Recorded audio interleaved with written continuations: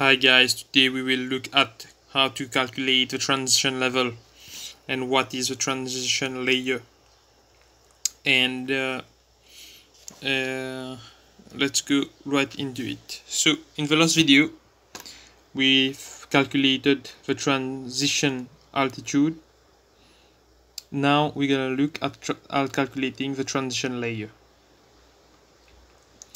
So uh, for the transition level, the minimum distance between the transition altitude and the transition layer must be 1000 feet.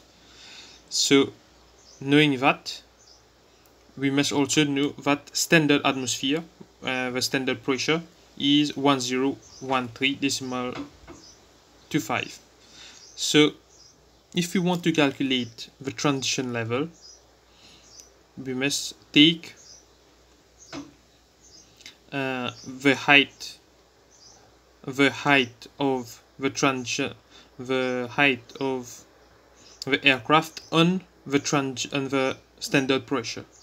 So if we take this here uh, this addendum uh, which is for uh, the standard pressure the height of the aircraft would be lower than the transition altitude so there's a risk that it can hit something.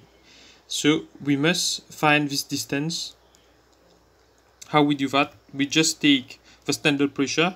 We subtract the local QNH the QNH and we get 4 another relationship between pressure and height is that 1 hectopascal is equal to approximately 100, 130 feet uh, 30 feet so we just multiply that with 30 feet and we get 120 feet 120 feet.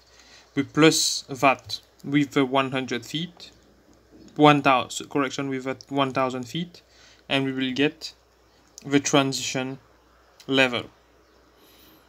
But now we must run it to a specific value so we cannot run run run it down because it could hit something or it is not actually at the transition altitude. So we all, always run it up so the transition level would be transition level 60 60 uh, 60 so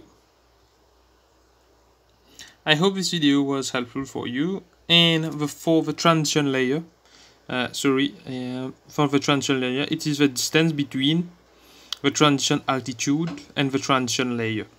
In the trans and the transition level, sorry, the transition in the transition level, uh, we cannot do separation of aircraft.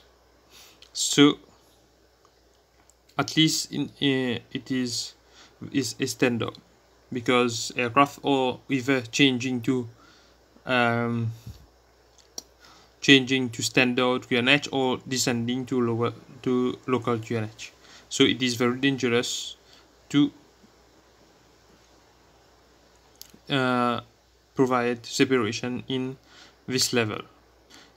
Actually, we don't do it. So I hope this video was helpful for you and see you in the next one. Bye bye.